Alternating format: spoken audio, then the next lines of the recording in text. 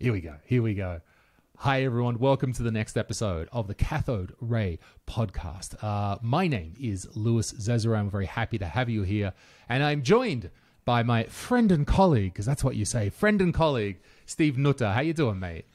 I'm doing well. Thank you very much for the wonderful inf- introduction there, colleague. What can uh, what's going on with you today? That's, by the way, that's an old reference to DF, uh, to Digital Foundry, actually. Yeah. Uh, we'll Yeah. get that one. I uh, actually the bit that I wanted to tell you about was uh, I wanted to uh, talk about the way I pronounce your last name Oh, because you've I mean let's let's be straight up Nutter. You must have got shit over the years for Nutter. oh my god! you can't imagine. You can you can imagine actually. Yeah. Yeah, that was always man. That was always. I mean, and it's funny you're bringing this up from a European perspective because, um, I mean, I got so yeah, I would get all kinds of stuff for the last name Nutter, right? As, as a kid growing up, and you just you know it makes you. It, of course, it's like a rites of passage, makes you kind of tougher. Uh, Yeah, okay. But I didn't understand that it meant like goofball or like loony person till I went to college and I'm and two of my best friends that I met the first year in the dorms were uh, both from they were on the swim team scholarship from England like London. And they were like what? What's your last name? Nutter. Nutter. And so they were they loved me. They we would pull the weirdest pranks on each other. But yeah they they were like you know Nutter means and this? And then so I was like, no, I had no idea. Like, w- there was an actual reference for Nutter. Uh, Oh, like a, yeah, else. like he's a bit of a nutter. Like- you know, he's a bit crazy. yeah, he's a bit- nutter, yeah, he's not all like- there. There's a few Right. sheep in the top paddock that are not there. Yeah, we say. So I used to, um, I used to get. Of course, there's a Nutter Butter cookie. So people like, oh, like the Nutter Butter cookie, and I'd be like, yeah, man, my family's billionaires because you guys eat those cookies. And they're like, really? I'm like, no, unfortunately not. I just have the name. I don't I get. I didn't get to be born into the cooking cookie fortune. So I thought when I, I, I we started this podcast, I sort of instinctively I thought like, I mean, I was when I grew up. Look, I was a fat kid. My name's Louis, so you could get look. You can easily. I grew up in the brutal public school system of rural Australia in the nineties. Brutal. So uh, you know, I had Puis maybe instead of Louis.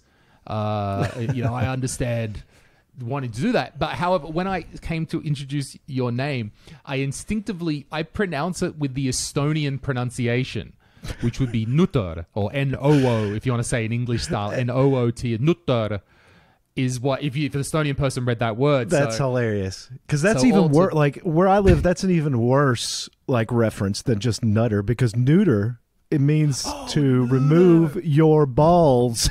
like like oh, Brutus. oh, it's not has even been, neuter. Not I Brutus, would say Brutus not, has been neutered, right? So he doesn't have his he doesn't have his testosterone makers anymore. So that's Oh, you're right. Nutter. Yeah, neutered. You can't. Is how stupid got- it's English speakers we sounding. Oh, dude, my girlfriend, she says words, and I'm just like, I cannot hear the difference between those two vowels. She's like, what? They're two completely separate words that have really independent meanings. And I'm like, you just said the same word to me twice. We just don't have a lot of that capacity to sound out vowels. And uh, used to, like, especially in Australia, we. We have like three vowels, ah, ah, and ugh. That's it. That's you don't use many vowels in Australian English. Hey, mate, fuck this, man. Yeah. Well, that's uh yeah, that's well I was going to I didn't I really really didn't know um cuz like I, it's not something that I really like say a lot as my net last name on anything. I don't think I've ever probably said my last name on my channel. I don't care. It's it's literally funny. There's a lot of it's not a, it's not even that rare of a name in the United States. Like there's I, I've moved to every time I moved to town, it was like, "Oh yeah, you're a nutter. Are you related to these nutters?" And it's like, "What? There's other nutters here?" And it's like, "Yeah." And you're like then people are like, "I don't believe you. There there can't be this many nutters in the world." And uh, it was like, "Yeah, it can." so like I moved to Oregon, there was a big construction company out there called Nutter Construction. So I was like, what? And then when I moved to the place I moved in Tennessee from here originally as a kid, there was another Nutter family not related to me in the same town.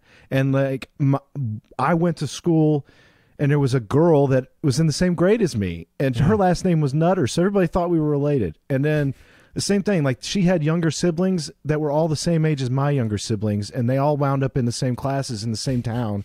So it was it was really an odd thing to run into so much of it, but um, yeah, when I got out into the career world, into the concrete world, which like we had talked about, all these that was always funny. Like you go get this hyper specialized technical degree, and then you get thrown out into a world where everybody who you're working around at best has a high school diploma. And I'm not saying this in any way as like a negative thing, but there's definitely a, a culture difference between blue collar workers, everybody knows it in construction, and like a white collar office job.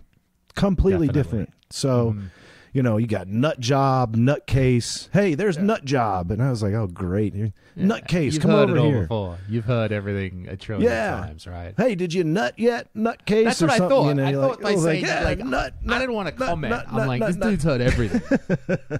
but no, so it's not it's not like anything that uh yeah, like I've heard I can't I I can't think of a reference that now besides the cookies that I've heard. I mean everything. So I bet. uh yeah, I don't uh I mean, like I said, it's like it, there's this old Johnny Cash Johnny Cash song called A Boy Named Sue Mhm. and uh, it's an awesome song. But it's the whole thing is about how this this guy na- he's, he names his kid Sue, right? His son, and his son. The whole song's about how his son takes beatings his whole life for being named Sue, right? And so finally, his dad and him become estranged, and he, by the end of this song, they both meet each other in a bar. And they get into a fist fight that falls out into the street, and he's like, "Why the hell did you name me Sue?" And he's like, "Cause I knew it would make you tough, and I wasn't gonna be there for you, but I made named you Sue so you could get your ass kicked and be all right." And uh, that's like the moral of the story. They hug at the end and love each other because they get it. He gets it why he was named Sue. Well, the surnames we can't help. You know, we can't. yeah, right. So you no one can't do anything about the nutter, but but anyway, yeah, that's uh, that's some fun fun stuff. Ah, cool, man. So yeah. Anyway, that's because sometimes I and I think also sometimes I've started this podcast and I go, and I talk to my friend Steve, and I'm like, don't say it, don't fucking say it, don't point it out, don't be a dick. Well, see, and the weird thing about I have to tell you, the funny thing is, is like with YouTube, if you say like a dirty word in like in the first thirty seconds or something or one minute, then it gets your like uh, video put into the yellow category where it's edgy or something. I don't know. Anyway, so if you, I wonder if Nutter's on the list where they'll just be like, "Is that a bad word?" So you might, yeah, we might have to change it up to not get flagged for saying "oh Nutter" in the first thirty seconds. Let's hope. I mean, I drop enough f bombs as it is, so okay. Oh, I yeah, we'll see- stop the f bombs until a bit later. I've been trying to No, in recent yeah, episodes. Keep yeah, I was later. gonna say is if I think if you make it past a minute, it doesn't matter. Like they don't care.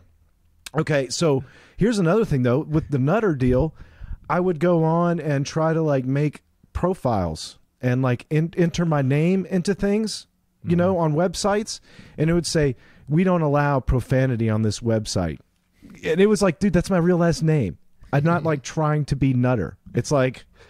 uh, that would always that would always piss me off the most was when it would be like, bad. "Ooh, this Like, is a what? dirty word. You can't use Yeah. this." And I'm like, "This is my name, jerk." That would be funny if the dude who instigated it was Mr. Jerk at the company. Oh yeah, yeah. Yeah, oh, so that's he's in charge name. of policy. Mr. Jerk. I'm Mr. Jerk. Fuck you. All right, so yeah, let's get back to something real here for a second. do it. So now, last Hmm. the last episode we did have Martin on, which was awesome, right? That was a lot Martin of fun. was great. Fun to speak with him. And this episode, we wanted to just have another one with Steve and I, just talking shit, uh, talking Right, about the projects that we're doing this mono- week. We're always, yeah, we're always uh, working on something. Um, like most people, I don't know, probably like most of you, there's always something you're fiddling with, always something you're working on. Uh, so we're just gonna kind of go through that stuff in one of these episodes, and hopefully tell a few stories, and hopefully you, you know a few of you like listen to just us talk about our week and our stories and our backstories and stuff as well. And then you know we got a few interviews coming up as well. Nice little balance. Yeah, it's a good it's a good balance. I think it's a good way for us to kind of take a second to breathe because the interviews are awesome and I love doing them. Um, but we don't get to really talk about anything. Uh, well, we do. It's not true. We do get to have fun stories and still do that thing. But we don't get to then just. It's like it's. There's no point to bring somebody else on and be like, "Hey, you want to hear about my projects this week?" It's Right. like, no, we want we bring we're bringing on special people so that we can kind of like do what Bob does is you know try to highlight what they're doing. Talk and about these them, people are more you know. specifically, yeah. It's it's more about them. It's about what they're doing uh, within our community here, and that's the big thing. So. Um, it's great to have a break here because we got another interview at least planned for the next one. So uh, it's always good to you know take a take a minute to breathe and, and also talk about our our our going ons.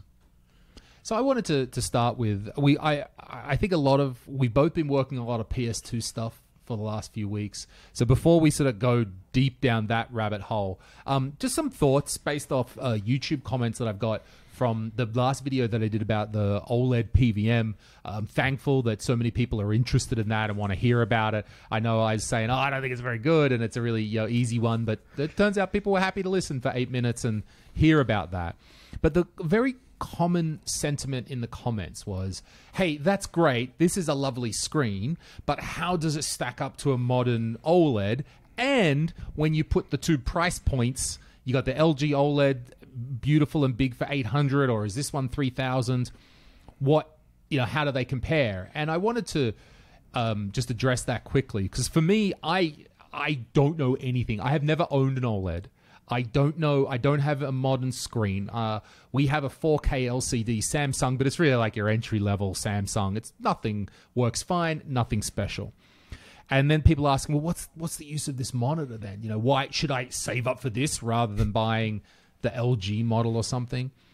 and it's not. I, the way I, I came to describe it was when I see something like that OLED PVM, I have a sense of transposed nostalgia. I have a nostalgia for something that's actually more modern because it looks. I guess maybe it's like if um, I don't know, you're into an old muscle car, Camaro, Camaro, if I'm saying that right, or something, and then or the Mustang, and then there's the latest model Mustang, and it kind of looks it. It's all new, new tech, but you still have some transposed nostalgia, and that's how I feel when I see that PVM. And I also, also too, I have a sense of um, expectation of future possibilities.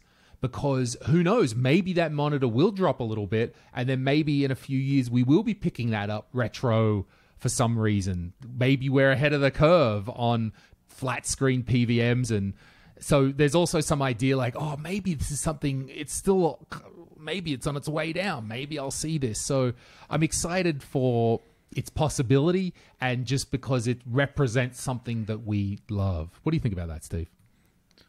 Well, first off, I thought it was an awesome video too, because I mean, let's be honest. You were talking with me on behind the scenes, you know, off recording, and you're like, "Oh, this thing, it's like." It's like a a, a a yoke hanging off my neck, you know. I'm dragging it around this OLED review, and so I was like, man, the way you were putting it, I was like, I was like, don't do that. I'm kind of pumped to see it. I still want to see what you got going here. And then I watched it. And I was like, man, this is awesome. I love, I love the way you had it together and the way you produced it. It was really, really good. And then I love the fact that it got, you know, a lot of traction. It was awesome.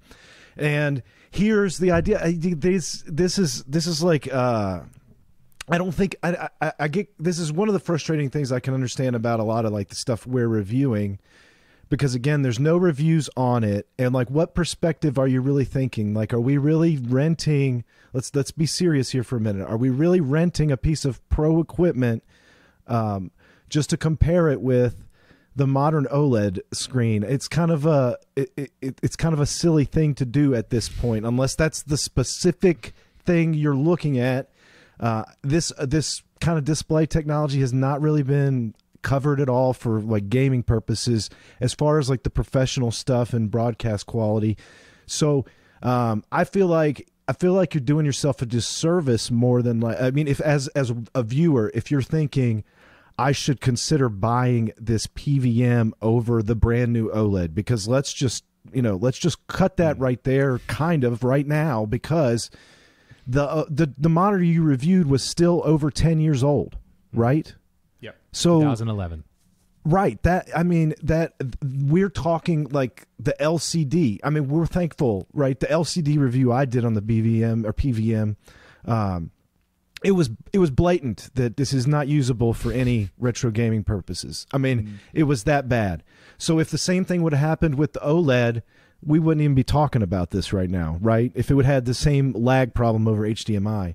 Um, so like with my LCD review, it's like it's that thing. It's like there's no there's no reason to um, argue that point. It's just like we're reviewing what the next step was in in technology, and that's the mm. same thing as with this OLED. It's like a first introduction to the next step of this technology.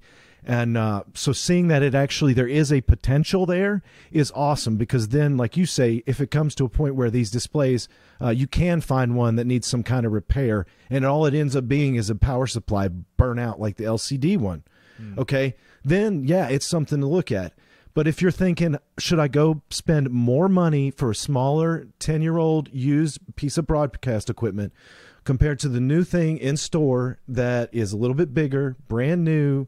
Um, then it, I, I don't think that's a great, you know, comparison. Mm. Like that's not, I mean, I don't think you should. Yeah, I, I it, it, that seems like a pretty much almost no brainer to me. And I, I don't know. Is that is that kind of like? Do you does that is that the right answer? Like, am I going down the right path here? I think so, but I think also about? when you see, although I get where you're coming from, and I do agree with it. But also, surely you've watched some video sometime and there's some cool shit, and you're like, oh, fuck, no, I want that. God damn gee, Well, of course, so... yes. Right, then you see it, and I, I can see there's all kinds of stuff. It's plugging people's OCD, and we all have a little yeah. bit of that in the in the in the hobby. That's what we do. Like, I need I need all of my ROM sets arranged properly on the file system, and I need all of the things laid out, and it's I'm gonna spit you know and, and I need to have like, one. Oh. I need to have one OLED representation of a PVM in my collection till I get this. You know, I, am a lot like you too, though. I've not got. Um, I've not gotten an OLED display myself either at all. I have the screen you're looking behind me is from 2007. That one, and it's a plasma. And then um, this week I bought a couple LC or I bought an LCD uh, monitor that is for the basically a computer gaming monitor where that's just no that the thing is like there no latency. So like right now um to me latency is always the biggest thing to look at just about with these displays. And then the uh, stuff is secondary but i know exactly what you mean where you see something yeah and you want it. And I mean, like if I if I saw a good deal on one, of course I'd buy one. Because I mean, look what I did. I, I, just worked on a LCD that's basically worthless. I don't know what to do with the thing anymore. Hang it on my wall and and like display images on it. I, like I was laughing. I was thinking, what am I going to do with this thing? And uh, so you, if you go into like a, a a pub, and then you go into the restroom, and then there's like the advertisements like right above oh, the yeah, pisser, face, right? Yeah. Yeah. I was like, I might just put that in my bathroom down here and just have like random pictures on it if you ever turn it on. Like, you know, I'm like, what?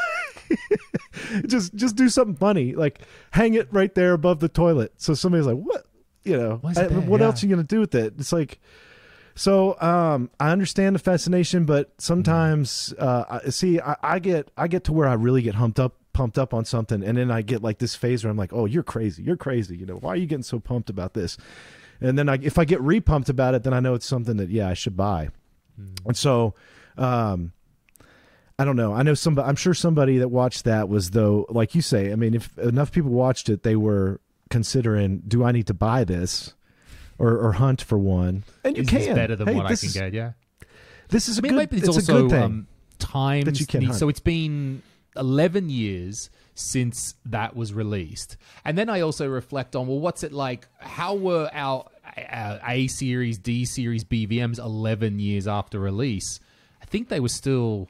Well, that oh been, yeah, you're good point. Mm. They're they're really really good. Like, I mean, mm. we're we're at the point now where they're from 2006, so they're 16 mm. years old now, and the majority of them are, the bottom, have lower hours. already hit the, the price bottom though, and they're on the way yeah. up. So Yeah. I'm no So, I, but I don't know where the OLED stuff does because since OLED's something that there's a lot of modern stuff, I would be willing to bet there will become a time when these OLEDs should be bought. But what I'm thinking it is, is it's whenever they like Sony comes out and says you need the QLED. I don't know what it is, right?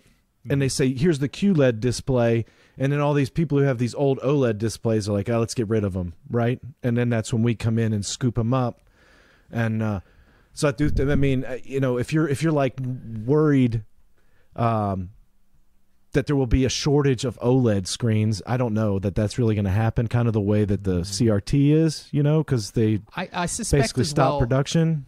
I was trying to draw the comparison. I said 11 years. 11 years. That monitor is 11 years old. How are our BVMs when the CRTs? But I, I suspect though that the timeline will be different for these OLEDs because we had a very. It felt like a very quick end of CRT. Sony was out, and we got a and we've got a whole new thing that's completely different and completely better, or so they say. Eventually, OLED was, you know, and I, I kind of when I look at OLED, I wonder like how the hell can you get better than this? How the hell can you make a screen? I mean, you can get better, but how can you get a like, oh wow, holy crap, that is so much better than OLED. OLED looks like a heap of junk now. I don't know that's going to happen soon. unless it's some kind of almost unless there's a screen that comes out that makes 240p like pop out at your eyes almost in a three-dimensional like viewing experience where you know I, like one of the things i really think that is creative that's been popular for a while are those little art things you'll see on like etsy or some uh, website where somebody makes a shadow box of something from like the nintendo era where they you know 3D impose something a little bit further out and they put it in a nice box and it looks real cool like a wall hanging deal. So I don't know if there's some kind of futuristic display that will eventually make it to where it's like almost like a 3D style look. That might be cool and like that would probably be shocking. But yeah, how much how much better can the retro games really look? It's like at this at this point it's hmm. So I, I, don't, I think, at that may- point it's going to be like the next generation up, right? The HDMI native consoles. How awesome are they going to look the best on the OLEDs, right? Compared to other stuff. Um, the good thing about the OLEDs is they did have all the LCD era to work out all the crappy crappiness. so. Which is at why they're- it's not just OLED is good. which They is why screen uh, and- OLEDs are good and the LCDs are the ones that you definitely can leave behind probably. Let's do let's do because there's PS2 and there's a lot of different stuff. Let's talk about um so with the uh with the release of the RetroNAS, uh, which we could talk a lot more about. It's a network share that if you have all your different consoles uh, with the homebrews, that there's a lot of different ways to have all of your files in one place and just connect remotely. And the system that is already doing that or was already doing that was PS2. It was already the best way to load your PS2 files was using OPL via Ethernet. I do want to jump in. Yes, if you got a fat, use a hard disk. True, agreed. But if definitely if you've got a slim with the built-in um, Ethernet port, then it's pretty much as fast. And I know I've had one of those set up. It's pretty tricky. And but you are try or have set one of these up, but you had no physical wires or anything. You've had to go straight down the Yeah. rabbit hole on this, haven't you? Yeah, so um, you know, this is one of the things we were probably going to talk more about in our next interview, but the or like the uh like the uh the RetroNAS deep dive stuff, but yeah, I found out about the RetroNAS project from Bob first and then Dan Mons who's been working on it. Um he uh, Bob put out the videos and I was like, you know, I've wanted something like this. And I was I was like if I can find anything in my house to set up to work on this, I will.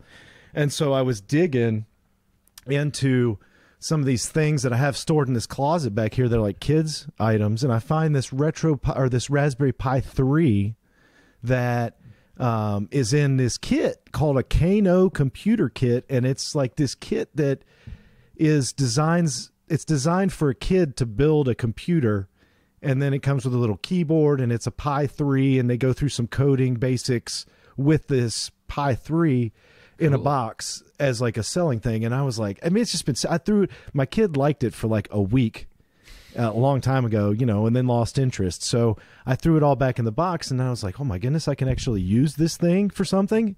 And so I hooked that up with a Toshiba hard drive that I had. It followed all Bob's directions on his instructional tutorial, and it worked like, I mean, 99% of the way I got it without really having to do anything else besides just following it step by step and then download and follow the GitHub page. So I set that up originally, and then I wound up moving that to the other side of the room. You see the the biggest challenge, and this has always been the biggest thing. I put the MiSTercade down here, way back in this corner. Yeah, we can see it right in the middle there. Yeah. Yeah, and so the big challenge was that anytime I wanted to update it, I'd have to take it out of the machine and bring it over here, hook it up to the internet, and then um, I know I could have done all this wirelessly, but I'm so sick and tired of dealing with the wireless stuff, even down here mm-hmm. in my basement, having everything on wireless. Something then doesn't want to work fast or something. So anyway, I was like, I need to get that on a hardwire. So yeah, I mean, sixty. Wait, yeah, 70 feet of single cat six to get all the way back there from the router. Um, so that was the initial before, one. Did you? You just had no. like, well, I had a router, or like an ether. Like my e- internet service gives me something that it actually yeah. is a router device. So mm-hmm. I had to like we had been talking. I was like, oh, I got a Netgear switch that has eight ports in it. So that's back there by my television now. Uh, and I put that in between the run to the machine back there so that I could have internet come there to the television and then I could get everything. So I, I moved the RetroNAS back there behind the television and so it's hooked up in over there and then I've got obviously the MiSTercade hooked up ethernet into the port and then I started plugging in all the consoles that I've got over there like a PS2 Slim like we're talking about. Mm. So the idea is to um, take my backup ROMs and put them on the RetroNAS, and then, like you say, remotely use this Ethernet Cat six system to pull the ROMs because there's nothing like you said, no storage device really much at all unless you want to add an additional external, I don't know, SS uh, uh, SD stick or something. I'm not sure USB for the uh, for the PlayStation 2 Slim. So yeah, I've got it hooked up. I've not run. I've just been run, like uh, compiling the ROMs into the RetroNAS, and then finally bought a free McBoot memory card off okay. eBay. So I'm getting that set up, and uh, hopefully have this big game again thing for my 10 year old son and his buddies where they can come by and see like the coolest retro gaming basement in the United States, maybe. that's gonna be dope. Yeah, I mean that's cool. So, so you um, yeah. you had to buy. So you didn't have any uh, Ethernet cables, not much uh-uh. anyway before, and because you were telling me for a while that you were going to make them, and then you the tools were too expensive oh. from what you saw. Yeah, like it's it's so funny the Amazon of things, and if you're if you're global, I'm sure it's even better with AliExpress um, because you can get that stuff shipped to you in a decent amount of time. But here, I went to the hardware store and it's like here's you need this tool. It's $45 to crimp the wires. And then the crimper, yeah. and then um, i would look over and it would be cat 6 connectors. And it's like here's a 25 pack. And that was the first thing that made me laugh was for $20 it was a 25 pack. And i was like okay so this way i can make 12 and a half cables? Because it's not even an even number. I was like so you give me 25 it's such a weird number to put in a pack like that it's definitely but, hardware uh, store prices. So yeah, so then you're you're sitting there and it's already sixty five dollars for just the crimper and the ends, and uh, that's not including the hundred feet of cable you pay another seventy dollars for. So I went and priced it at, at just Amazon, and you can buy you know you can't compete with that cabling price on Amazon. Really, it was literally cheaper, way cheaper than making my own to just find a, a dealer that would sell a whatever length you need cat 6 on on uh, amazon and deal with that because the the idea of making cables was cool but it's not cost it's not economical uh, unless you could get like wholesale pricing. I don't i don't see it. Yeah, I was enjoying talking to you about that, uh, and, and, because my thing, I, I, haven't made a cable in well, actually now it's more like twenty years, but uh, I did make a lot of cables twenty years ago uh, when I lived when I was at university, I lived with a friend of mine. His name is Jay. Uh, hoping to see him again real soon. And he was was and I believe still is involved with professional network installation. He had a van and he would go out literally to work sites and construction sites, and he'd be there on site.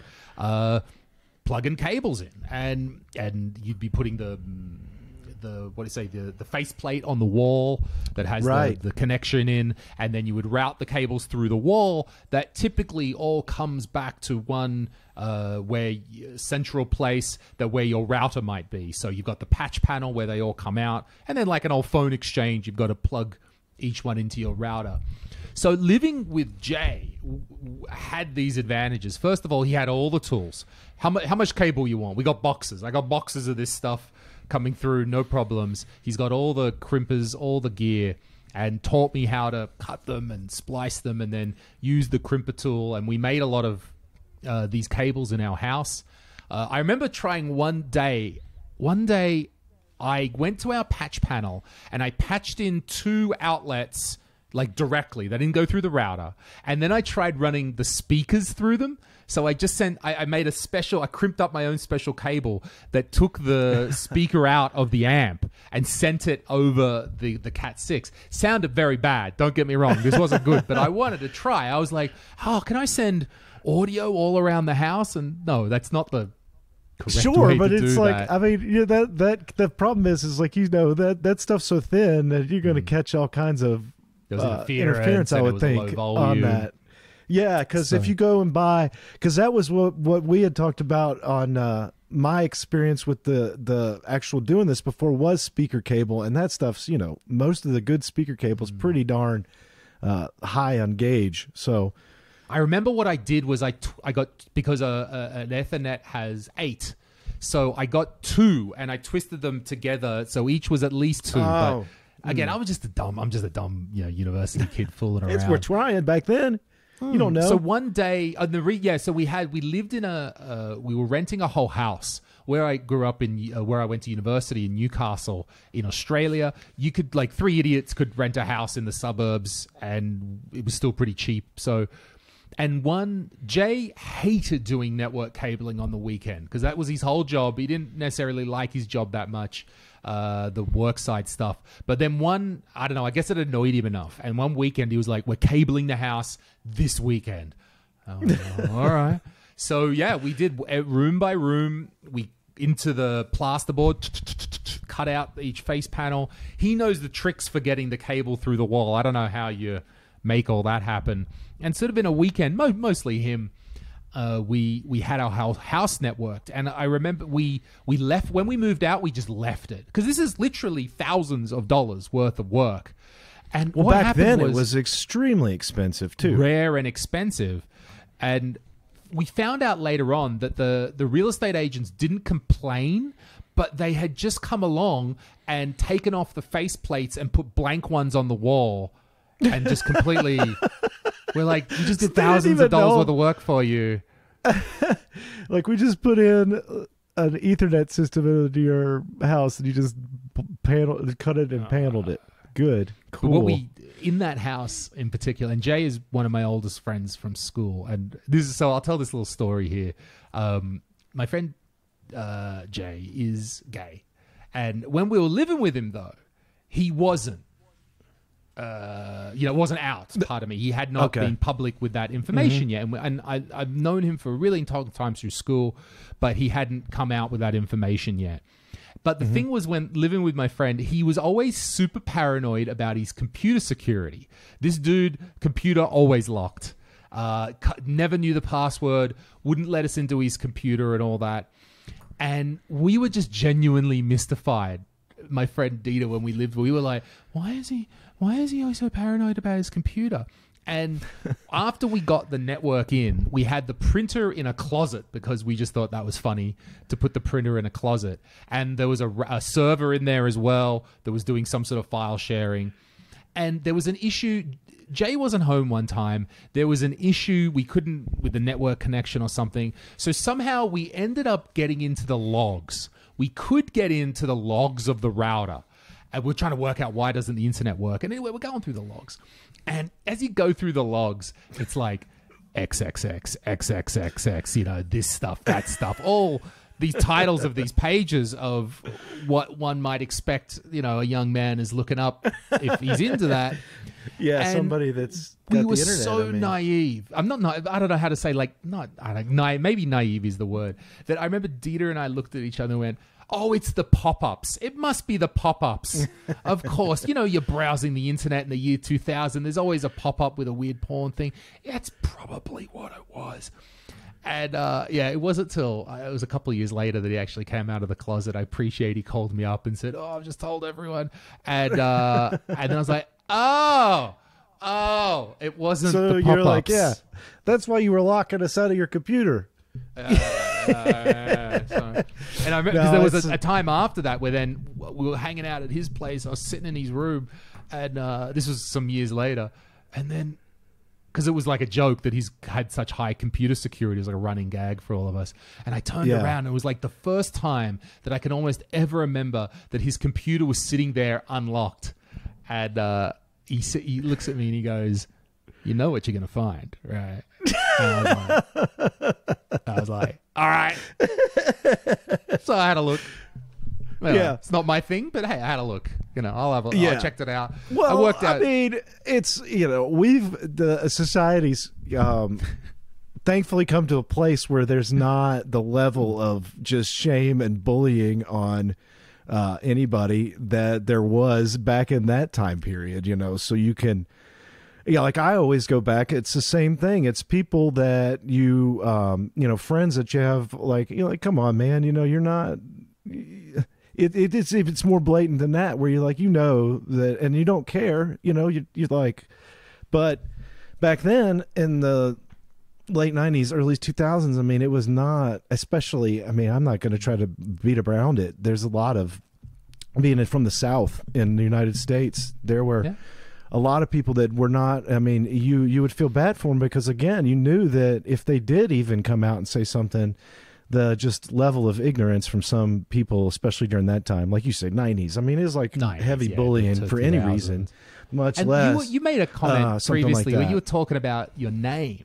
And you said Yeah. that uh, you were you were you were saying as well that you originally you had been working on construction sites and and such things. And I do know I remember Jay saying to me that it was a, a thing that held him back from come you know making hi- that's his status public originally because he had to go and work on construction sites. That was Right. his job. Roll up to a construction site, all the blokey blokes doing their thing there, and he knew that was going to be difficult for him. Um, you know, now look, he came out of the closet 20 years ago, so I'm not sort of telling too many uh, stories about him. So I, I'm very interested to catch up with him soon. But uh, yeah, I can't, even with that experience, I can't imagine what that must have been like to go through. But yeah, he, he taught us about networking for sure. That is well uh yeah that's i mean it's it's it's fun like i had uh when i was in college that's that i remember being in and that was like the big thing in college was you would get to go from your crappy home internet at this time when i was there it was like dial up and then you get to go they were like oh you're going to go to school and they're going to have this thing called t1 and so that was like half the reason i wanted to live in the campus on a dorm was the fact that they had this high speed internet. You couldn't get anywhere else included at the dorm. And uh, after that when we moved out like you with some roommates out to the country near this in Kentucky where it was is is where I had and we we'd order it was cable internet and that was still pretty fast. But I can remember never we never had any networking so it was like somebody the cable guy came and installed the modem hmm. in a living room that no that was like in the center of the house that no one it, this house had two living rooms. One of them was literally left empty. No hmm. furniture nothing. And there's just a router on the floor or, or, or you know a plugged in cable modem. And Love then it. we put a, mount, a router in there and it would literally be you'd have to go from your computer grab the plug it in the back and run out with a 60 foot cable from your bedroom and just leave it on the floor and plug it into the router. And then like it would get like battle stuff because if if you'd be like oh i need faster internet. So you'd go over there and like start unplugging your roommates shit when they're looking at like they're like what happened? Like oh man i needed i needed more bandwidth. But uh, that was like the first experiences. And then uh, with the cable company, we didn't even get to keep the internet that long, and this was because.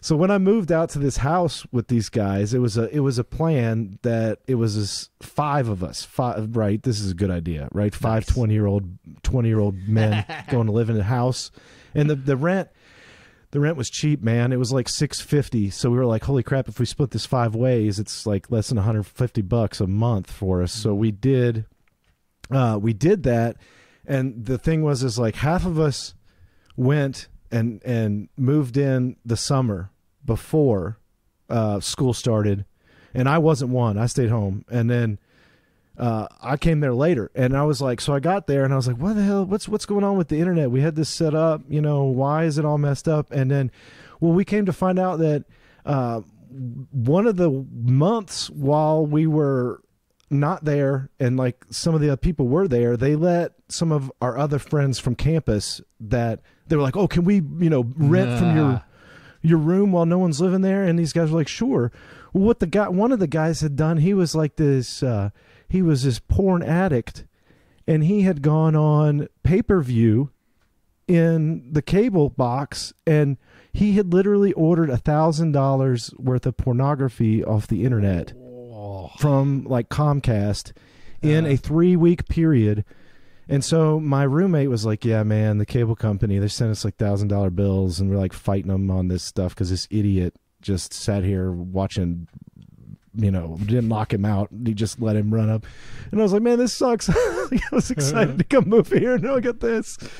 But yeah, that was yeah, that was the, the thing back then. So you couldn't get as easy access to that stuff. So it was like, "Oh yeah, they got it on pay per view. It's only Uh, thirty I thought you were going to say hour." that he'd come and uh, used all your download limit or something at least. Oh, no, no, no. It was worse than that. porn.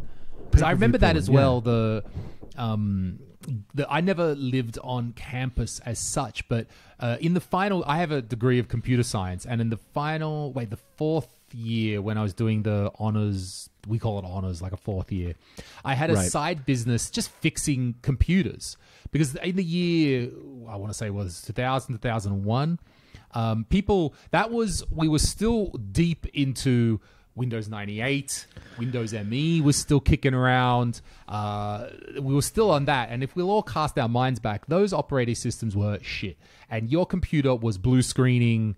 Like if your computer blue screened once Oh, a that day, was you were common. like, yeah, you were like, oh, well, a blue screen, and I. Uh, so my friend wanted their computer fixed, and I said, "Oh yeah, just bring it around. I'll fix it for you." And then they gave me fifty bucks for it, and I went, "You can get you can get money for this."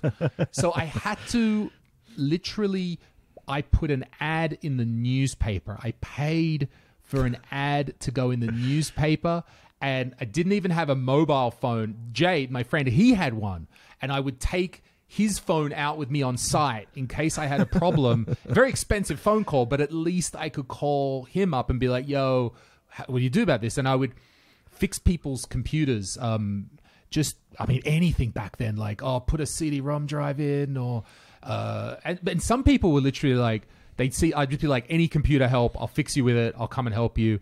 Some people were like, can you teach me how to use MS Word? I'm like, yeah, all right. And and another lady was in adult education, uh, learning Java as the first year, and I was second year or third year by then. So I was like, oh yeah. So I just became. She found me in the newspaper, and I became her Java tutor.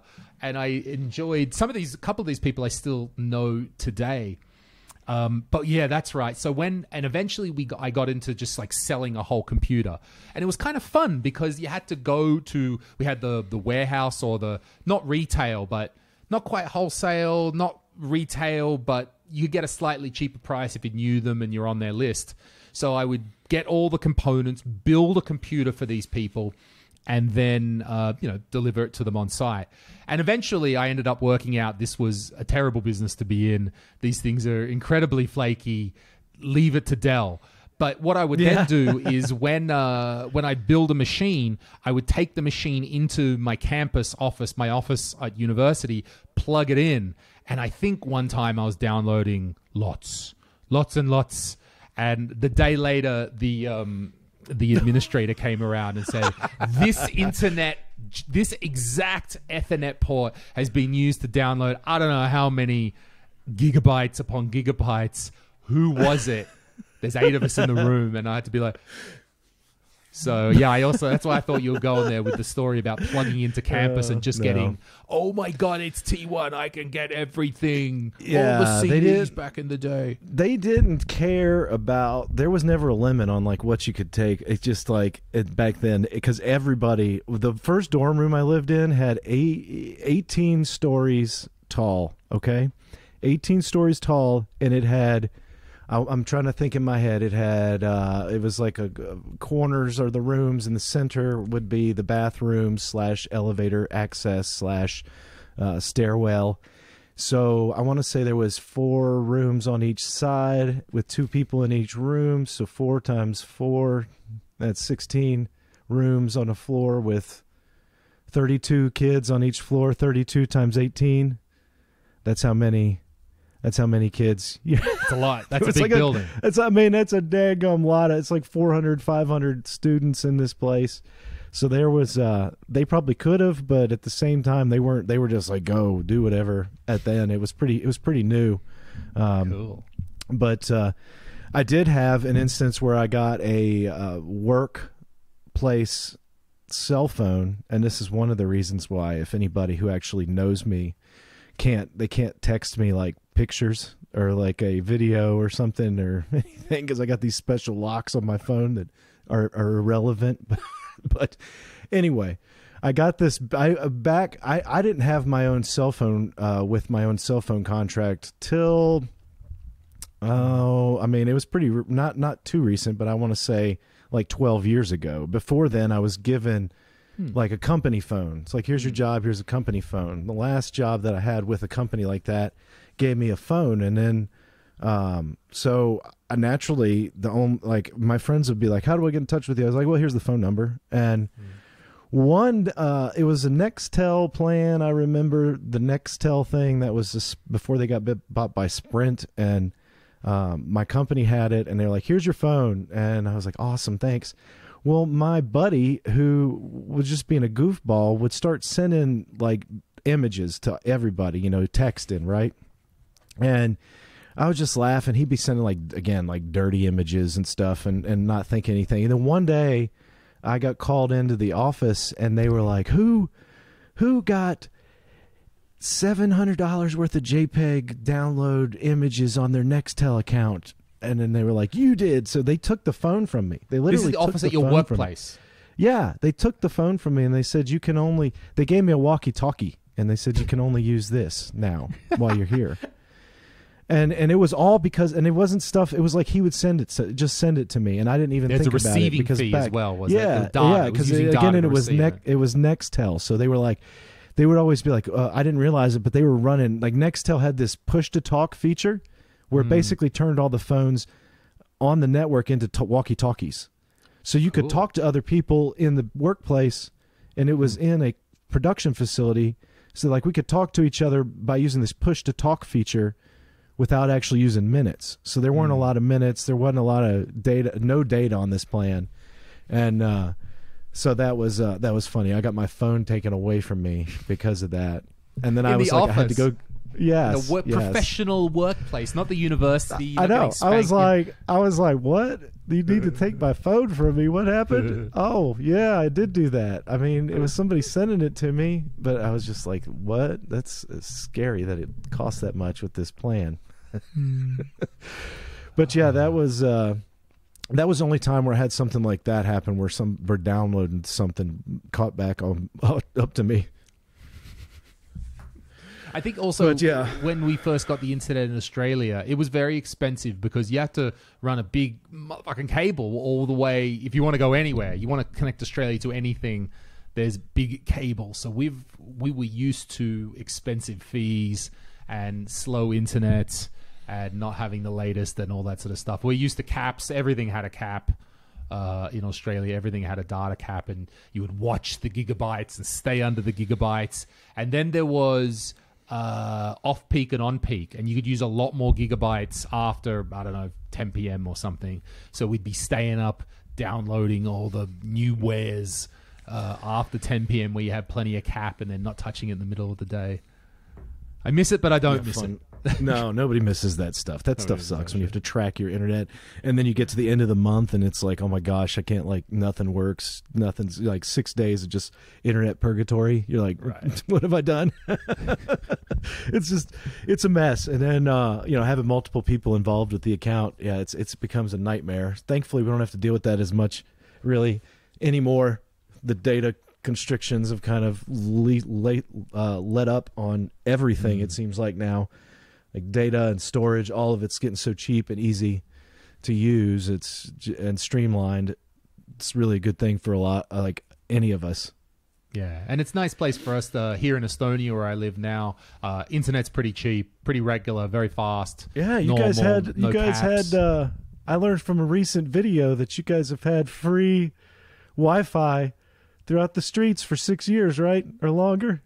Uh, we have a lot of free Wi-Fi. They tend to You know how- overplay it in like everywhere you go. There's well, no, uh, but there's it's pretty common everywhere you go. Like rest, if you're in some place, a restaurant, I don't know, a hall or something, you could expect some. Usually, there's going to be some free Wi-Fi there, and then to pay for Wi-Fi, there's a couple of uh, of big hotels in town, like a Radisson SAS or something like that, and they still have a thing where they make you pay for the internet. It's the only place in the country where you have to pay for the internet because I mean it's Radisson. I guess they've got the same system in all Yeah, their right. hotels around the world. Uh, that's a weird, but everywhere else Well, it, it's uh, pretty I free here. I learned it. I learned it from a uh, a pilot. That's what. It, that's where I heard it. oh, really? you The know. pilot, Yeah, yes. the, The pilot. You Estonian know what pilot. pilot? We're reflecting on. I was in a promotional video for Estonia Oh, about six so years awesome. ago. Uh, I should put the link to it here. I was a I was, promotional I video. was laughing. I was like, I was talking to my wife. I was like, I wish you knew Louis because this is just like the best thing I've seen in, in like a month is this video of him. But if I just show it to you, there's like no context. Like it just seems like a, f- a funny, good video. But yeah, um, no, just not not to not to. I was just joking there with you, but I did I did learn that. I remember learning that from that video where you said, "Oh, look, we've got Wi-Fi everywhere." But we do have one of the things we do say in that uh, video is that it's extremely easy to file your income tax in Estonia, and that is true. Mm-hmm. I pretty much log in, everything's pre-filled for me. I'm like, "Yep, that looks about right." Submit, and you're done. That's the process. Uh, You don't want to know about filing your don't wanna taxes in the United right. Oh States. my Oh my, gosh, it's like eighty billion pages of tax code here. It's just an unreal. There's nothing. That's a funny. You know, I don't know. I don't even want to talk about it. I don't even like to talk about it. No, no. What have we got? anyway, What have we let's, got let's forget about that. Yeah, let's. Oh, let's let's let's reflect here on one thing. It's been the end of the show. It's probably a good amount of people still watching right. We're go. Let's reflect here on a minute. I wanted to go through some personal experience um, with uh, what Bob said recently Hmm. on the weekly podcast or not podcast, the weekly news update, and it was a segment he did towards the end of the show where he was asking or talking, basically telling people that they are okay to send him um, ideas or write things for Retro RGB because if you don't know, that's like Bo- Bob's whole idea for Retro RGB is to have a place that's not just it's not Bob's Retro RGB. It's a community place to go and have good posts, good information on anything relative to the community. So he was putting out basically a you know, hey, it's okay to send me stuff and to apply even if you've never done this or you have any interest. Um, I wanted to just talk about how my experience went with that and Yeah, how I went about doing it. But uh, this and this is again so the the first I remember it being like it was like a giddy point in my life. I think it was like 2 years ago or something. Um it was a July and Bob sent me an email saying, "Hey man, I love what you did on this video. I'm going to write about it." And then it's just like at that point you're like, "Yeah, yeah. Woo! This is so talk to me." awesome. I've it's like I finally made it on like this is like it's like one of those hurdles I feel like if you're like creating content in the retro space of retro gaming and of course like me I've been following retro RGB since is, is since any time I've been like in this scene and so you know the just the actual idea of that it was just so awesome and then um and, and then you sit there and you're like well I've got something else that might be worthy and you but you you know you understand Bob's on the schedule where he's got a billion things going on and a billion situations like that and there's just too much for one person to sit there and cover. And so one day, what was it? It was so it was Keith Rainey. He had just come up with this new monoscope pattern. Remember for the 240p test suite? I want to say Sure. it's like six months ago or eight months ago or something. And I was like, Keith, this pattern is, you know, this pattern's awesome, and it's attached to Artemio, who I know. And I was like, this is great. Bob knows Artemio. You know, everybody respects the hell out of Artemio in the scene. I was like, I can get, you know, we talk to Artemio. And then I was like, I can actually, I, I talked to Keith. I was like, I can call him. I called Keith on the phone, talked to him for an hour about everything he wanted to, uh, about this pattern. And it was all great. And I thought, you know what? I'm just going to sit down here. And I opened up a Word document. I had some pictures from my video that I had worked on for the 240p test suite and this monoscope pattern, and just wrote up some dialogue, basically almost like a press release. So it's like a press release, again, is what I would want to call this. I was like, I'm just going to do a press release format. And I remember sending, putting it in a PDF after I wrote it.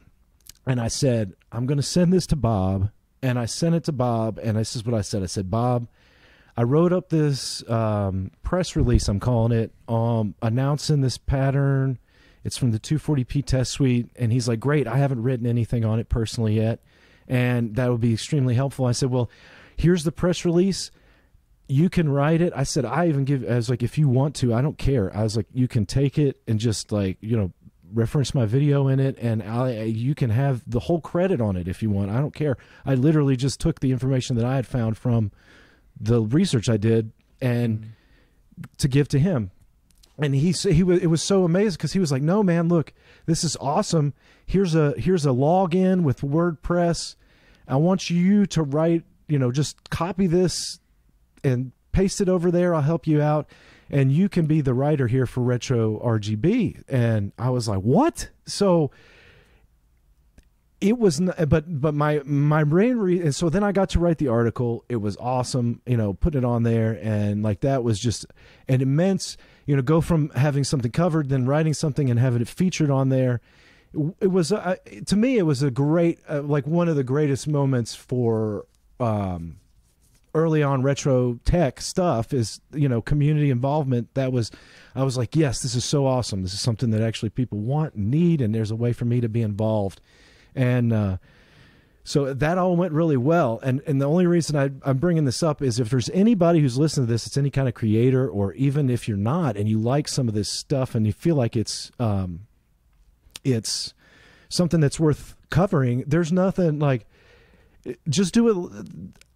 I feel like the way I did it was probably like that's the right way to do it. And if you're thinking about like a professional, like you're in professional business too, like a press release kind of that's how that works Sure, right? It's normal. Like if you have some information, you could put together an article or a press release, and then you send it out to press out- outlets and hope it gets covered. Hmm. So, um, I don't know. I, Yeah. it just I know I got a little long winded there, but I, I was like, if anybody has, it's it's and it's what Bob kind of opened up. He's like, if anybody has, even if it's something you're creating, and you can write a little bit of an article about. Um, the fact that he came out and now said it means that uh, I think it's a great opportunity. If anybody's been thinking about it, I think now's your time to try it. It's a good time It's a good in the next way couple in. months. Yeah. um, I think anytime you have a group like that. So, Bob, I've got some relevant experience here after building this comedy troupe in Estonia and dealing with a group of volunteers. When there's work, some people get paid, but often, if you've done any stand up comedy, you know, there's usually not payment for years, and you got to work for years until you actually earn some money. Um, and so, working with volunteers, getting them in, and then after a while, we've got a group of comedians. We work together, and people see us and they go like, "Ooh, that's are you a niche? Are you a click? Are you uh, inward? Or maybe I want to be part of that. Maybe I want to be that." And I've tried really hard over the years to strike this balance that I think there is when you build a community, there's value in the community. Like the, there has to be some if there's value in the community, um, not everyone can be in that community. Now, this is a little bit different to retro RGB. I don't mean to. I mean more like we've got a group of comedians, and we have a very clear um, delineation, which is well, you got to do stand up comedy. In the end, we've got some mates of ours who are great, you know, hang out with, and we don't mind. But if you want to hang out with us, no problems. But you got to do stand up comedy, and you got to show us that you're trying. But if you do, welcome. Welcome, welcome. And the most basic, not like, oh, we want to see a great act, just like we could, like, as a comedian, we can tell when you're trying. We can tell when you're putting effort in. And if you're, you can be terrible. But if we see that you're like a good person and you're trying and you're just experimenting and you're asking questions, we're like, welcome into the group. And I think groups, in my experience here, there's value in having a group because we work towards a common goal. We're building that together, helping one another. So, but you, so yeah, you don't want to be too exclusive. That group can't be too hard to get into. We want it so, and I, I can see Bob might go this way with not the general RetroRGB community, but maybe more the writers. Like you need to put in the effort and, and, and write something. But if you do that effort, it doesn't have to be great. Doesn't have to be the most amazing thing. Bob's going to help you. He's going to work Absolutely. with you. Be like, hey, actually, you know, for an article, you probably have a bit of this and a bit of that, and you're like, oh, got it right. I'm going to do it. So I think, and the, the, I'll take this one up personally. I know that whenever Bob says stuff like, hey, write to me, I'll help you, people kind of say like, oh, you're a gatekeeper. And I got accused here in the entertainment scene in my country of being a gatekeeper because I had a group of great artists around me. And if you're not in our mindset, then you're not in our group. And then you're like, well, aren't, isn't that gatekeeping? And it's quality control and wanting to be a good leader and set a certain goals for your group and leadership for your group. That's not gatekeeping because the implication is that no one can do anything else which is untrue like if, if I go to Bob and I'm like, Bob, I want to write an article, and Bob goes, no, for whatever reason, no, no, no, and then I go, "Uh, uh, uh, fucking Bob, fucking this. Well, Bob's not stopping me from putting my article, video, tweet, whatever he just happens to have a place where a lot of people look. You are absolutely welcome to build. If you think that it's not the correct way and there's a different philosophy that you would like to have beside your group, you are absolutely welcome. And I don't even mean that as a dickish way, like fuck off and do your own thing. No, if you don't, if if, if that group and that philosophy isn't what you're down with, no problems, no bad feelings. Um, it's not a monopoly. People think that when one thing is dominant that it's necessarily a monopoly. A monopoly implies that you are then actively stopping others entering. Yeah, actively preventing thing. anybody from coming up, like, Right, which is wi- certainly and competing not. with you. No, no, nothing like that. I've never had that experience with Bob, and as someone who's also built a group, I can appreciate he's trying to help you. You know, if he Yeah. gives you feedback and says, "Hey, this article needs a little bit more of this to be an article," right? Well, he knows he's written a whole bunch of freaking articles. Well, that's and that's and that's again. This is the idea, right, about this whole thing with RetroRGB. It doesn't matter what you think. He's, um, I look at it as a good thing. It's like he's the editor in chief, and if I want to freelance write an article, submit it to him, and just the fact that he would review it and give feedback. I'm going to tell you this: if you are a person who can write an article, it doesn't even have to be big or anything you don't even have to be like a creator like us. You could just see some things hmm. in something you follow and you're like, "Oh my goodness, no one else is seeing this. It's a great thing. I love it." And it's re- in retro space and you have no history with Bob whatsoever. If you do what I did, write the article, send it. I mean, Bob's got open channels on the internet. If you send it to him and say, "Hey, I again, especially right now, he will do i guarantee you what i just said he will look at it of course he's going to help you edit it of course he's going to have some ideas on streamlining it and making it better because he's got experience and uh, so that's all the good thing but as far as like the gatekeeping stuff there is an element of that but it's not a negative gatekeeping because we're talking about communities here. The you built the community in Estonia with the comedy stuff. You built it, or you your team built it. Same thing with RetroRGB. It was built by Bob and the team that he has put together, and of course he can't just be like, oh, the gates are open and every screwball in planet Earth is welcome to come in and just trash my house. It's like I just built this house. I want to have some respectful people over for a dinner party. I don't invite Bluto from Animal House to come over and chug Jack Daniels till he throws up on the carpet. Right? Oh. So, Absolutely. And it's, it's not, not um, keeping a standard isn't gatekeeping. It's saying, here's our community. These are the values that we have. This is how we want to show ourselves and how we want to represent ourselves. If you want to work with that, if you like that idea, if you like that philosophy, then welcome. So again, back to that idea that the gatekeeping is not. There should be some um, criteria for entry, but it's it can't be monumental. It's no. Yeah, there, there's some. Yeah, you've got to do the work. You got to be a bit genuine. You got to try some stuff, but that's all you kind of need. And then once you go from that, um, so yeah, you do need someone there saying no and yes, and that's hard that's that is the uh, that is what it is to be you know to lead a group of people that to to say yeah. that some people are going to get annoyed at you. I've had a whole bunch of people Absolutely. annoyed at me over the years, but I because then people thought that I was dominating the comedy scene here. And I'm like, no, first of all, you're really welcome to run your own show. You're absolutely welcome to do your own thing. We will not stop you. We're not going to fuck with you. You're really, really welcome. Um, and but the the leader will will get that. And the way that I, uh, as the the leader of that group over the years, was able to mm, comfort myself or draw strength was that if someone was annoyed at me, I then looked around and first of all I analyzed: did I treat that person fairly? Have I given them a fair go?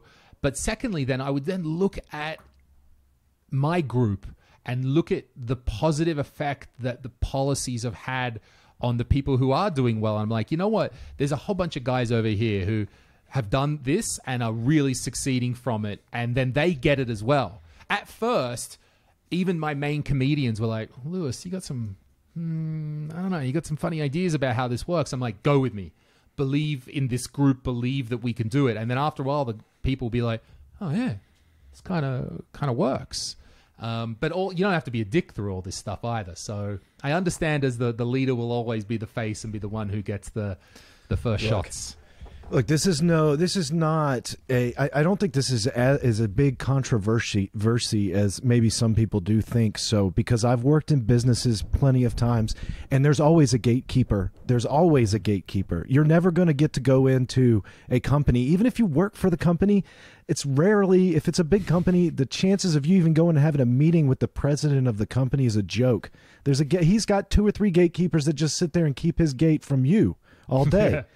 And again, it's um, it's not it's it gets a bad reputation because again you're just like hiding behind it and sure sometimes that is the case but not in our communities this is like mis misrepresented and misused because mm.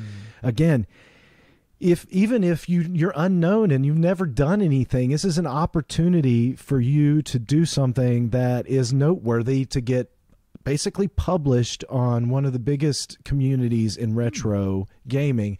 And again, you don't even have to be a creator that has makes anything. You could except be a writer. There's nothing wrong with that. And then that might lead into whatever passion or corner you may have, but like you said, with the comedians, you're like, come on, flow, flow with me, go with me, try this out, see where it leads and I can just tell you from my own personal experience, it's led to a lot of good things. I had a small channel. Um, uh, I, I haven't really been, you know, I never really like beat over the head the growth my channel has, but it still grows consistently. Mm. And it's, I mean, I'm pushing 15,000 subscribers on YouTube now. And that is immensely helped by the fact that I have done what I can, and if I did more, it would probably be bigger than that. As far as working within this community space, and oh. um, like I've written three, I think three times for RetroRGB, and I, I every time I'm like I should be writing more. I'm like I should be writing something else. I know that there's like two or three things that I've got in my head for like two months about CRT stuff that no one's written on, and um, I could just write it myself and put it on there, and it would be fine. So the idea. Um, I think it's a great again, it's just an awesome opportunity. If you've ever had the idea, there's nothing wrong with doing it and submitting it. And again, if it's not if it's something that um, don't get your feelings hurt. This is what this is literally what the world is about is taking a risk on yourself. And this is this is kind of a little risk. What's the worst that's going to happen is Bob will just say, "Hey, look, I don't feel like this is the right article right now or something or this isn't the right topic for this reason and it will be a specific real reason. It's not going to be because he doesn't like what you've done. It's not like some schoolyard freaking middle school bullcrap. It's not like that. It is 100% if you put in effort and it's visible on your writing even if it's just like two paragraphs and it has value mm. it will end up there it it will if if it's again and and there's plenty. I mean, I, I don't know what else. Like there are so many projects going on that Bob can't cover. You know, and you know it. You know it. I know it. Sometimes we just think about it because like we get a little selfish like we're thinking about our own projects and we're like yeah it would be awesome if this project got some you know hype on RetroRGB um but at the same time, yeah, you can't expect to go, "Hey Bob, how you, what are you doing this week?" Man, I got this awesome project. Why don't you write up an article on it yeah, why don't and feature it on your show and do all this yourself? And it's like, no, that's not really the way it sure. works. But at the same time, it's not the way the world works. If a p- company comes out with a new product, they don't just expect uh, news outlets to hear about it and write articles. Again, they write press release, send it out to the press outlets. It's not. Yeah. It's not even. Uh, it's not even an unusual um, chain of chain of custody, chain of events. Mm. So I don't know. I I, um, I think the extension just, of that. Sorry, oh, pardon me. No, no, no, no. You're fine. Like, because I'm getting a little long, long-winded on some of these points, but I feel like again, like you and I both know that uh, Bob is a completely genuine, real person like there's um he doesn't put on like any persona. He's like us, yeah, which is really yeah. it's really like commendable to be able to put so much of yourself out there like him and um he will get so much flack from people just because they just like to give flack and he's big enough now to where they'll throw it at him and so um don't get again if you do submit something and it it you know if it needs more work, take the time, see what it is. You know, try to take some good criticism. It's mm-hmm. like so. And there may not be even criticism. I think what what has Bob has kind of organically come across um, is sort of a, a, um, a rule of leadership which is that if you want someone to grow, you need to give them responsibility. I need to give you responsibility. Now, that when I give you responsibility to do a job or a task or write an article or make something, that also implies that you may not get it right that I give you the responsibility to make something. And it's not a guarantee you're going to get it right because you're new to it. But the only way you will grow is if you're like, oh, this is, I, have got to do this. And I, I do think it's the job of the leader or the person who's making directions here to give you enough of a test environment, and I mean that in a general sense, not a computer test environment. Like that you have enough. You, I give you responsibility, and I give you enough rope that you can not hang yourself. You'll get a little hurt. You'll probably scrape your elbows, but you're not going to fall over and have something bad. And the job of the leader is to produce an environment where people can. I'm going to scrape my elbow. I'm going to fall over once or twice, but that's nothing bad. That's all part of it. And that nothing terrible happens. But okay, I'm going to get a little scrape and I'm going to learn from that. I'm going to be like, oh, yeah, because Bob let me do it myself or the leader let me do it myself and turns out it wasn't that great but now i got it now i it's the only way people learn so i love and and i, I guess oh yeah where i was coming to this was as that leader as well you do need to be vocal about these things we can live in our group and think like yeah of course everyone knows that you can just roll up and talk to bob but like you said, I had the same thing as well. You, when you see, I had to think about that when I was meeting Bob for the first time. Um, to to think like, oh my god, this guy, I've seen all the videos, I know all the, I'm the Patreon, I'm everything. And then I Yeah. had to reflect and think, well, when a new comedian comes to our group, they probably see Louis Zezeran and go like, oh, he's the guy, he's the boss for the last 10 years. I'm a bit intimidated by them. And it's actually my job to break that down and to just chalk with them and be like, no, I'm not. It's not. Let me tell you how it works. Oh, you want to do that? Cool you know, and that that's why Bob was very cool. So I could appreciate from the outside that I was like, maybe Bob's just a guy like me who wants to talk. So Right, yeah, of turns out, course. Well, yes. that's exactly what he is. And uh, to go back to your point of getting yourself hurt, Bob was the first thing he said.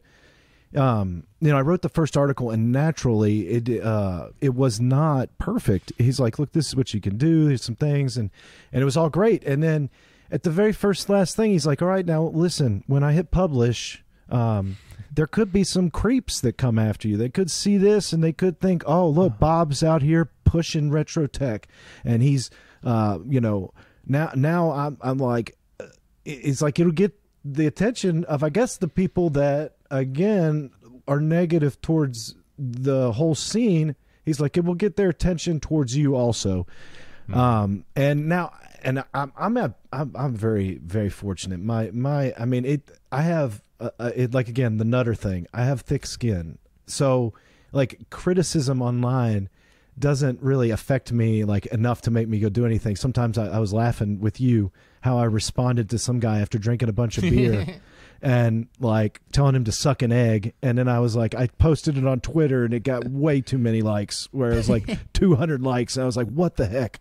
You know, unless I do like the coolest piece of CRT dirtiness, I get 200 likes, you know? So, um, it's, uh, it's, it, my, my, audience is very much 90% not not even negative and they're on on the topics. So um that's but that's something that everybody who is any kind of personality on the internet is eventually going to deal with. You got to think of it like a good thing. Once you see you know I, I always thought of it like this uh, with video stuff. I was like, if I'm not getting any, if I'm not getting one or two to four downvotes a video, hmm. then the video's the video's not good enough. I know that sounds hmm. crazy, No, it's good. but I if like it. that means that it's not reaching uh. people that for some reason dislike it. I was like, if if hmm. it's if it's everything's perfect all the time, it gets you in this mindset that, well, how do I actually improve something if everything's hundred percent liked? It's like what then if you change something, you're like, is that what caused it to go down or something? So it's, um, you know, the majority of the people in this community, the vast majority of us, even though we're nerds, and like you always say, of course we can all be a bit autistic on things and get like obsessive compulsive about stuff and miss the joke, miss the context. That's not unusual for a nerd to miss context on the internet when someone posts a tweet joking about lag times on the CRT, right? And then you end up with with the world chiming in and you're like, I was just joking, right? So it's um it's always there. That criticism will always find you, but again, it's just uh, it, that's just part of it. And uh I think of it as a rite of um, passage, I guess. that uh, tweet that you, you made it's a really good example actually that tweet that you made the other day. So someone wrote a snarky comment to you. You you got him a good one back in the reply and you posted it right? And i think there's um what i'm trying to do is balance off here venting and negativity. And i look i think that's fine. Look sometimes you know that's funny it's good to sort of just put it out there. It was what did you say? Suck an egg? Like again? This Oh yeah, not- no, not- no. Well, I mean, just to give stupid, right? context, like on it, for example, and there's only reason it really grinds my gears is when someone puts out like a response to a video, and you can tell it's somebody who's just probably tried to do YouTube for a long time and never got anybody to watch their mm. videos, or they've been rubbed wrong because it's like a comment where it's like, "This isn't 2016. Why are you going for a 10 minute video?" And What? again, this is that's that was the weird thing. I was like, "What?" And then it's like the most obscure topic. I'm like, you found yourself on a repair video where I was showing how a fuse or a resistor acts like a fuse in less than 10 in 10 minutes, right? It happened to be 10 minutes. It's like I don't I don't sit there and make content thinking about 10 minutes. Look at more majority of my videos are well over 10 minutes and I can't like I'm like I've been trying to streamline stuff and get it cut down and it still doesn't matter. So uh but yeah, it was like, "Oh, your script writing needs work." And uh, it's not 2016. You don't need 10 minutes anymore. And uh, you shouldn't take that long to show how to use a multimeter and all this nonsense. And I was laughing because I've I talked to you. I don't, I I have 340 videos. I have one video that I fully scripted out of 340, and then maybe I'll write a script for three minutes of a video where it's something that I just don't want to sit there and get on camera and say, "Yeah, well, this is how it goes," and you know, and then repeat myself if I'm just talking. Hmm. Like here, we could repeat a a line accidentally in a free flowing conversation. So I mean, it was just all in all, and then yeah, after just I think it's a good example and- because you um when you posted you said it got loads of likes, right? One of the most liked tweets Yeah. you've had for a while. And it's a comment on that it is easy to succumb to the dark side, that the negativity and there's a lot of people that they want to they know that if they post something like this person made a nasty comment about me, you know, and then you post it. Now, that's fine. Look, occasionally we all need a bit of help. We all want to be a re- reassurance from our friends. We all just want to be a little sanity checked to know that that was a crazy person and we're okay. And I think just a little bit occasionally is healthy. And but what you saw that because you could easily also, if you weren't quite you, you'd be like, I got 200 likes. If I do this again, I'll get another Oh. 200 likes, and then you start maybe. going down Right. the path to the uh, being more Dra- negative, drama. Like all of a sudden, I'm a drama. drama channel. right and and it doesn't have to be like full drama drama to be that but you can Yeah, a lot i yeah. find a lot of creators maybe in their own um they're, they're struggling with their own self-esteem as a lot of us do and then they can get caught up on that and then they do that maybe call people out too much and you're like uh, don't go down the trap it's mostly good to stay above all of that but we're all human and sometimes it's good to just have a little Well, yeah, fun and like it's that. at the same time, right? It's it's like this guy's comment. It was it was again. You can go check on YouTube too. It's so funny. You could check like if this person's ever left a comment before, because a lot of times I'll get a comment where it's like something's short and it's like maybe negative about a video, and then I'll check it and I'm like, this person's been subscribed to the channel. This person's made 25 comments and this is i'm like okay well it's something about this video. There's a topic that they don't like. I don't care. And then and i've never like i don't go in there and be like oh you're an idiot or anything. It was just this was so cliche like all the things that youtube uh like the cliche thing you attack somebody that's like a youtuber on right? The length of the video the script writing. It's like so generic. It's like and it's, some, it's like an ai bot just showed up to your channel and just to criticize your, Like, I was joking with um, you because without apparently this- without any actual good criticism in it. This 'Cause a lot of person is I'll apparently apparently they're an expert in YouTube, Oh, yeah. in video production, uh, and and not only that, they're an expert in using a multimeter, and they're apparently an expert in how long it takes to educate someone on a BVM. I'm like, I can't imagine ever making that comment myself. Like, I don't What- know how long. But what what kind of like at the same time I was like this is so ridiculous because what else do you want? Do you want me to literally turn on the camera and say, "Hey, uh this fuse this resistor right here connects like a fuse. You better change it if you have a problem. Let's change it. Change it. It works. See you next time." It's like 60 seconds. Yes. Oh, cool. I got the coolest. Then I'll just, you know what? Then I'll just, maybe I should do that. Maybe I'll just go over there and do TikTok videos on repairs and make them 20 seconds. And then I'll be the, the richest guy because I mean, it's not like I'm getting rich over here making 10 minute videos on YouTube. I'm not getting rich, obviously, doing that, making 10 minute videos. Again, golly. Um, it's just uh, I, I try I try to keep a happy balance. I know that there's like there's there's a lot of people out there who get even annoyed by the fact that I would give some like two minute intro.